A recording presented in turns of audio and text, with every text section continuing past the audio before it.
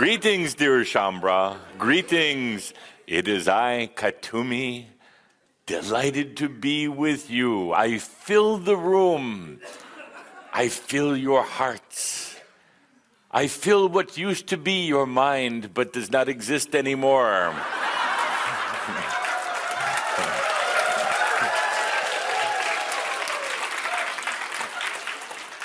and together we dance. We dance this thing called life. We enjoy the freedom and the expression to be without limitations. I would like to see a new Kuthumi workshop. Yes, I am enlightened, and now I'm going to enjoy. Yes, I am enlightened, and now I can be a fool if I want to be. I can be who I am. For a brief moment, I wondered if I should just ascend my body, to leave the physical plane, to go off into my third circle. And then I said, bullshit.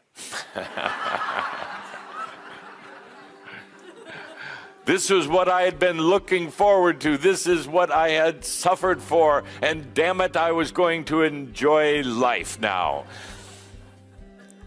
Now that I was free, now that I was me, I was going to go out into the world and see it in a way that I had never seen it before. And I did.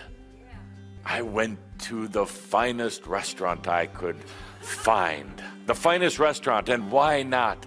I had starved myself for years, depriving myself of food, depriving myself of the human luxuries. And I went and ordered the finest, finest meal that was available. And I drank the good wines, not the cheap ones. It's a rule of thumb never drink cheap wine. It is not living, it is suffering. I then decided to set off, traveling to visit all of the places that my soul had had lifetimes in the past. I decided to set off for places like Egypt and France and Greece. All of these places where my soul had had experiences, not to collect myself, not to heal myself, but to visit, to feel into the experiences that my soul had had through these other incarnations. As I started my travels, the greatest joy, perhaps, was meeting and talking to other human beings, day to day people, people with children, people who worked in the hospitals in the schools, in the factories, wherever I could find music being made by humans, I would go there to sing around the fire, to play the instruments. Myself, I had not learned how to play any in my lifetime. But I quickly picked it up, and I found music had a new depth, had a new sensual nature to it, and it filled my soul to hear the music to dance with it, to sing with it.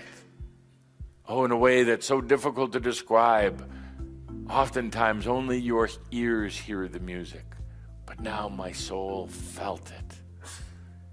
It was one of the reasons that I chose to stay so much longer after my enlightenment to be with the music, the expression, the joy of life.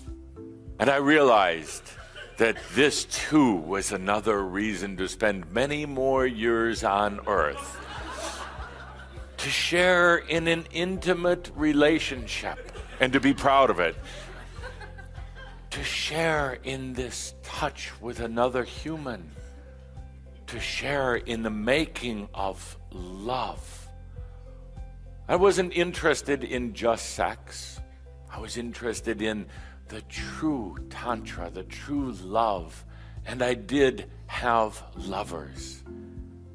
Not a lot, but they were so meaningful, taught me so much about the body, the soul, taught me so much about sharing, and I realized this is something that the angels cannot do.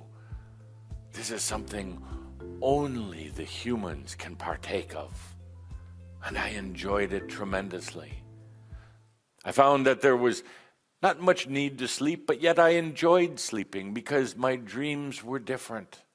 My dreams were as real as my waking state. My dreams allowed me to soar. They allowed me to imagine.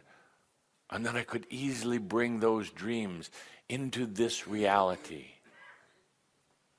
I learned that life truly is like being a bird. You could spread your wings, spread your consciousness, open up, and soar. It was like being a bird because a bird doesn't worry in the morning about where its next meal is going to come. It knows that the worm will be there for it. The worm will come up from the ground for it, saying, Here I am for you. The bird doesn't store food. The bird doesn't fret about food. The bird doesn't necessarily even get fat. It just is in the now moment. And this was life. This was beautiful life.